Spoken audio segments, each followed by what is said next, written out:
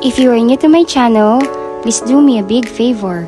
Please subscribe and hit the bell button found at the lower right of this video screen. Thank you in advance and bless you! Good day everyone! Again, I'm Miss Say Caranza, one of the licensed real estate broker based in Cavite.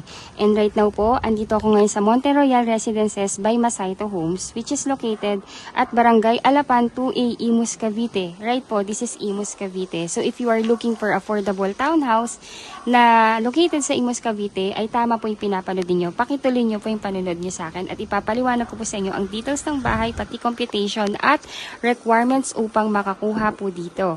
Ngayon, Ayun, so itong model unit na pinapakita ko po sa inyo ngayon is we call Gabi House Model.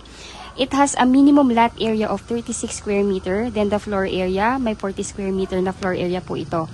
This, a, this is a two-story townhouse po. So standard standard unit pa lang po ito. So meron po itong two bedrooms, may one toilet and bath.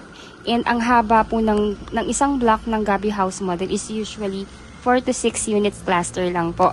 Then sa harapan po may 2 meters frontage and sa likod may 2 meters na setback. Complete turnover na po ito. Ayan, so right now po pinapakita ko po sa inyo ngayon yung loob ng ating Gabi, Gabi House model. As you can see po, tamang-tama lang po yung laki nga para sa isang starting family na may 1 to 2 kids po. So this will serve as your living area. Itong area na to. Then, yung kanyang windows po is actually a swing type po. So, para lahat po mau-open po ninyo. And talagang yung ventilation talagang papasok din sa loob ng bahay. By the way po, yung ating ano, yung ating door is actually made of metal. So, hindi po yan aanayin at pangmatagalan talaga. And, yung kanyang lock, naka-double uh, lock set na po yan. And this will serve as your, um, uh, this one is your, ano po, is your toilet and bath kung ano pa yung makita nyo dito, this one is the actual turnover na. So, complete fixtures na po yan. Let's go po sa likod para makita ninyo yung inyong provision for the dirty kitchen and for the laundry area. So, sa likod po, meron po ditong at least 2 meter setback para at least po you can still, uh, you can still extend your, ano po, your kitchen area and for the laundry area. So, ganito na po yung turnover niya. Mamaya po ipapakita ko po sa inyo yung model house para you would have the idea kung paano po siya mas pagagandahin once na turn over na po sa inyo yung property. Ito pong Monte Royal, accessible po ito through Cavitex Expressway. So if you are looking for ano po um, for a subdivision na ang daan ay sa Cavitex, ito po yung isa po sa mga pwede po ninyong uh, mai-avail. So nakita niyo na po yung likod. Then let's go on naman po sa second floor. Ito pong ano natin stairs is um ano po to, made of concrete concrete cement and handrails and metal handrails po. As you can see po, dito sa video is actually uh, bare pa siya or standard unit pa siya. Pero meron po kasi kaming model na pwede na pong may partition siya. So, uh, mamaya po yung model house, papakita ko sa inyo para you would have the idea kung ano po yung itsura ng mata-turnover sa inyo. So, complete, ano naman na po to? Complete turnover na. Meron na siyang two bedrooms, may ceiling na rin siya. Then, swing type po yung ating mga window para talaga namang mabubuksan nyo lahat. And, of course, para yung ventilation and for the light, talaga naman pong ano, uh, mag magagamit natin yung natural resources natin. So, ito na po yung actual na uh, na, na floor area ng ating ano, second floor. Habang nililibot ko po kayo dito, uh, i-discuss ko na po sa inyo kung paano po ninyo mai-invest or makakapag-reserve ng inyong property dito sa atin sa Monte Royal.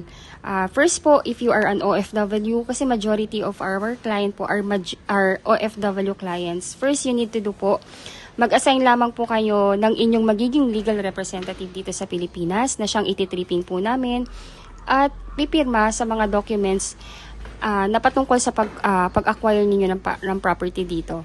So, sila rin po yung magbabayad ng reservation fee sa subdivision cashier or pwede naman pong online reservation diretso po sa bank account ng ating developer. So, ayun po, ang total contract price ng ating property is 2 million and 577,300 and 300 pesos. Title transfer included na po. First cash out nyo po para makahabol pa kayo sa mga remaining na unit ng Gabi is 10,000 pesos only. By the way po, yung Gabi house model natin, dahil ito nga po yung, yung pinakamurang townhomes dito sa atin sa Imus, Cavite. Siyempre po, sila rin po yung uh, mabilis din pong nare-reserve. Ayun, so first cash out nilang is 10,000 which is reservation fee. Then after 30 days, magi start po yung ano, ah, installment plan ninyo ng down payment which is 247,730 pesos. Ah, ito pong Gabi Townhomes natin is actually a ready for occupancy. So, ang down payment natin, pwede lang natin siyang bayaran ng cash payment or 3 months to pay. May mga ilan-ilan din tayong pre-selling or yung tinatayo pa lang na property or tinatayo pa lang na gabi. Pagka, ano po, pagka itatayo pa lang or ongoing pa lang construction ng gabi, usually, yung ating, ano po, yung ating down payment ay pwede siyang bayaran ng 15 months to pay, which is um, 16,500 15.33. So, di ba po yung down payment is 247,730 pesos. I-divide lang po siya ng 15 months for the pre-selling. So, that will be 16,515.33 centavos. Kung ready for occupancy po, yung 247,730 na down payment, pwede nyo po siyang bayaran ng cash or payable in installment plan ng 3 months to pay. Pag ginawa niyo po siyang ah, installment plan ng 3 months to pay, that will be 82,577 per month po. Ngayon po, pagtapos na yung down payment, ipapa-approve na po yan sa bank financing. Once approved na po, doon pa lang po kayo mag start ng inyong monthly amortization sa bank, which is for 20 years to pay, 19,401.81. Kung 15 years to pay naman po ang gusto ninyo, that will be 22,167.2 centavos.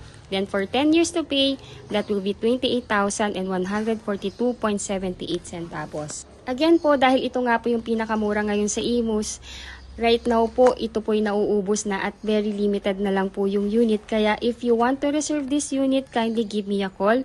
My number is already posted in this video. Again, ako po si Miss. Caranza. Ako po yung licensed real estate broker. And I have one best agent na si Ma'am Stephanie Francisco. Ayun po, our number is already posted. Ayun po, minsan po hindi po ako kaagad nakakasagot sa call kasi po mas madalas po ako sa site and office. Yung number namin ni Steph, nandito po. Pakicontact nyo na lang po kami. And also, pakicheck na rin po yung aming Facebook account. Nakalagay po sa text description or sa comment po ng video na to. I-add nyo na rin po kami para po at least real time po yung ating communication. Mas maganda po na nagkakausap po kaagad tayo para po kung may clarification po kayo, may address kaagad namin or if you want to mag-reserve, malalaman, ah, mabibigyan na rin po namin kayo ng actual na map kung saan po kayo mamimili ng location ng unit ninyo. Yun po yung kagandahan din sa online eh. Pabilisan po kasi po right now first come first reserve. Ayun po. Again, if you are new to my channel, please do me a big favor. Please subscribe and hit the bell button found at the lower right of this video screen.